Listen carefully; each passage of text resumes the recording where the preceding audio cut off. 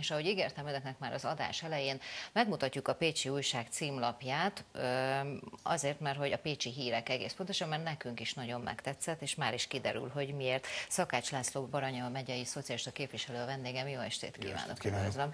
Hát azt hiszem a mém gyárosoknak befellegzett, tehát hogyha valóságban ilyenek jelennek meg, akkor, akkor már nem kell mémeket gyártani. Igazi sikerről számol be az újság, és mindjárt mutatom, hogy miért beszélünk és miért hozzuk ezt egyáltalán szóba.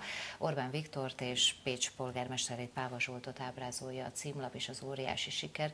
Ez máskor is volt már ehhez hasonló, vagy ez egyedi esettel állunk szemben? Úgy gondolom, hogy ez most egy, egy új eset, ez egy egyedi eset. Persze az embernek nagyon sok cinikus és vicces gondolata támadt, amikor először én is, amikor megnéztem ezt a, a címlapot, de mégis azt gondolom, hogy a helyzet az inkább síralmas. Maga a címlap eltalálta egyébként, mert amit Orbán Viktor Pécset elmondott, az a science fiction kategóriája, mint ez a kiváló film. Itt én mégis azt gondolom, hogy itt arról van szó, hogy a volt pécsi alpolgármester és a pécsi polgármester viszonya már nem olyan, mint régen. Lecserélték a pécsi média vezetőségét, és ott most van egy vélt vagy valós megfelelési kényszer, ami hát egy ilyen Ennyire?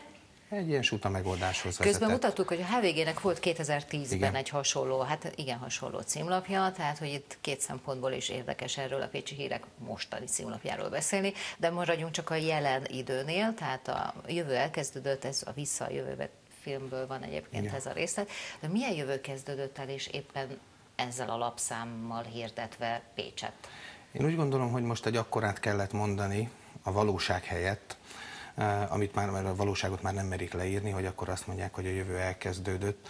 Hát eh, ebben a cikkben, illetve Orbán Viktor sajtótájékoztatójában a teljes foglalkoztatásról beszélt egy olyan városban, egy olyan magyarországi nagyvárosban, amelynek a lakosságának a 10%-a már elköltözött a, a városból a jobb élet reményében az ország más tájain, vagy éppen Európa más tájain keresi a megélhetést. 6500 munkahelyet kínált ott, ahol a legnagyobb foglalkoztatók, az Elkotek, a Flextronics, mindenki vagy leépít, vagy elmegy.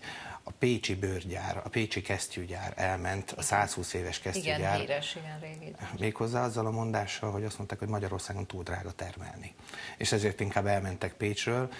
Én úgy gondolom, hogy ebben a városban ilyeneket mondani, vagy éppen azt, hogy a üresen Kongó déli ipari parkot még 90 hektárral megnöveli. Összehasonlításképpen mondanám, most 200 hektár áll teljesen üresen a déli ipari parkban, most 290 hektár áll majd teljesen üresen a, a déli ipari parkban. Nem hajlandó a kormány segíteni, és nem hajlandó a kormány valós ígéreteket tenni. A munkahelyek és illetve a megélhetés, én úgy gondolom, hogy az a legnagyobb probléma Pécset.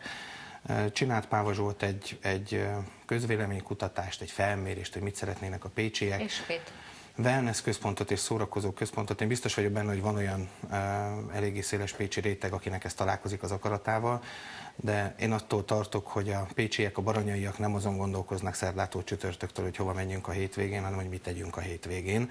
És ez sajnos most már nem a demagógia helye, ez most már tényleg egy valós uh, probléma. Én úgy gondolom, hogy nekünk rájuk kell fókuszálni, nem pedig megígérni a hatodik wellness központot a megyében, úgy gondolom, hogy nálunk van a legtöbb egyfőre jutó. Hát most ugye vasárnap felszabadult, semmi shopping, lehet wellnesselni, de természetesen ez még viccnek is rossz volt. Ha mert tönkre hogy, nem mennek a plázák. Mert hogy nyilván sok embernek nem ez az igazi gondja. Köszönöm szépen, hogy itt volt.